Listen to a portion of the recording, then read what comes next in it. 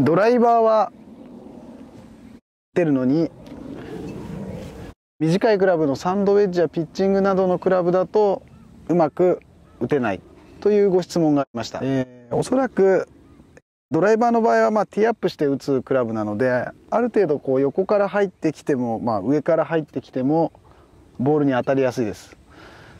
まあ、しかしこういう短いクラブはどちらかというと最初から少し縦の軌道になるのでドライバーが当たるのにウェッジが当たらないということはもしかしたらスイングの軌道がドライバー寄りになっていて少し横向きすぎて手前にダフるもしくはそれを嫌がって起き上がってトップっていう形が多いのではないでしょうか。ですから短いクラブの場合は少しボールに近寄って背筋を伸ばして少しボールを上から見るようにして構えてスイングしていただくのが良いのではないかと思います。おそらくドライバーと同じようにこう離れて構えて少しこう後ろに上げて戻してこようとしてるのでクラブがアドレスの位置にしっかり戻ってこないでまあ、シャンクだったりとか、まあ、後ろから来すぎて手前ダフってしまう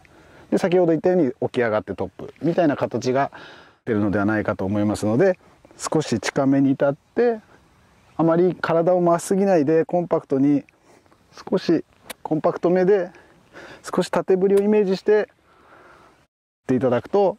少し安定してくるのではないかと思います。